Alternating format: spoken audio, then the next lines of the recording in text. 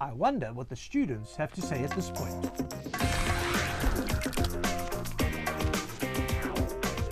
Hey, Declan. Hey, Sandra. What's happening? I'm. I don't think I'm ever gonna see you again. Oh, don't say that. That's. Oh, you see, now you're gonna make me sad. And I was all focused on the maths and, you know, just ready no, and no, going. no. We still are. We We- still We're are. still here. We're still here. Yeah. Okay, but did you have fun though? I did have fun. You see, I really had a lot of fun. that's all I need to hear. That's all I need to hear. So you can go ahead and ask your last question. It would seem as if our sample should include children from e- from each grade, as well as both boys and girls. Am I right? Well, is he right?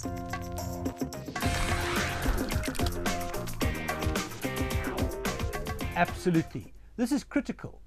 If we want to compare the extent of bullying across the grades, then we need to ensure that all of the grades are represented in the sample.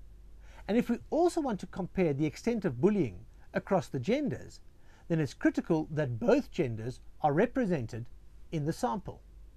There are at least four different ways of selecting a sample convenience sampling, random sampling, systematic sampling, and stratified sampling. Because of the clear groups or big word strata in our data, namely grades and boys and girls, I've decided that we should use stratified sampling. Let me show you what this means. The first thing we need is a list of all of the children in the school where we're going to do the survey. For now, however, I'm going to limit the survey to involve grades 5, 6, 7, and 8.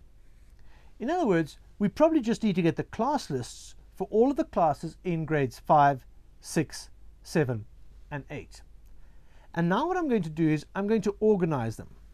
I'm going to make a list of all of the children in grade 5.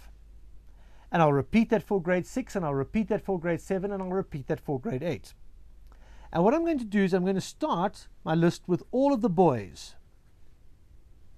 And then I'm going to put all of the girls. And I'm going to put these in alphabetical order. The next thing that we do is to select in order every 10th, 15th member of the population. The number is determined simply by the size of the sample that we'd like to work with. In our case, I think we should include every third member of the population in our research. In other words, we're going to select that boy, one, two, we're going to select that boy, miss two, we're going to select this girl, miss two, the next girl, and we're going to go through like this, selecting from the list until we've reached the end of the list. What I want you to notice is that the children who have been selected have essentially been selected at random. I didn't know who would be where on the list, but the systematic way in which I've selected the sample has ensured that grade 5s, grade 6s, grade 7s, and grade 8s, as well as boys and girls in each grade, are included in the sample. Because I'd like you to conduct this research in your own school, I now want you to go and get a set of class lists and to repeat the exercise that I've done here, deciding on who's in the sample and who isn't.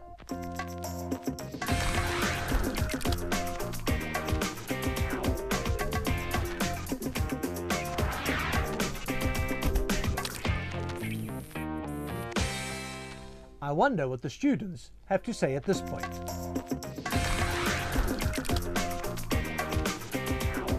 Mother, can you believe this is your last question? Yes, you know, it's very sad. It is, because we've been having so much fun. No, I, I enjoy maths, you know.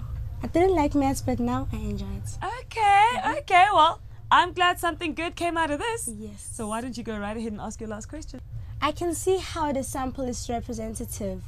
Next, you go interview them, right? Right, Arnott?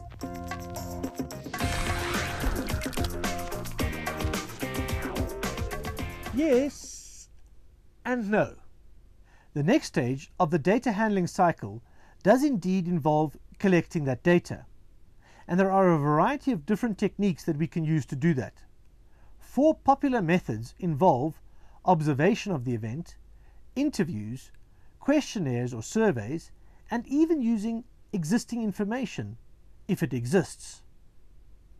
Each of these methods has advantages and disadvantages.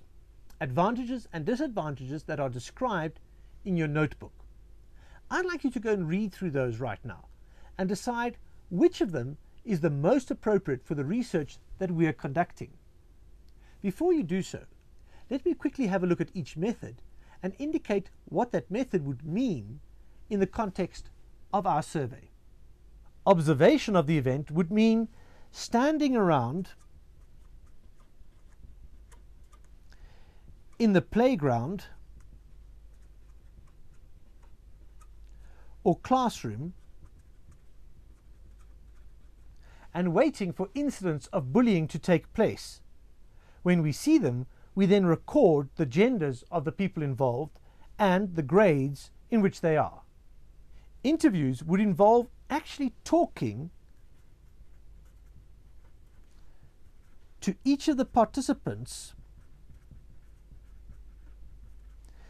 in the research. That means having a conversation with each of them. I'm not sure how eager people would be to be interviewed. They might feel at risk for telling on each other. Questionnaires or surveys would allow anonymous participation. While using existing information would involve going to the school records of all of the children involved in our sample or selected in our sample and seeing if on the school record there is some record of bullying.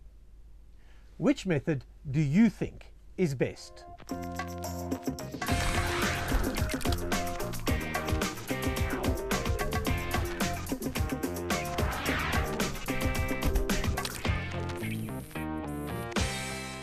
In our next lesson, we're going to continue with this research project.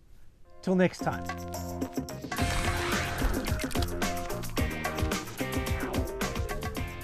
Guys, as sad as it is to say, but hey, we have to say goodbye. We all had fun though. Yes, we Yes. did. Awesome stuff. I'm gonna see you in our next lesson, and it's bye from me and the guys. Bye. Bye.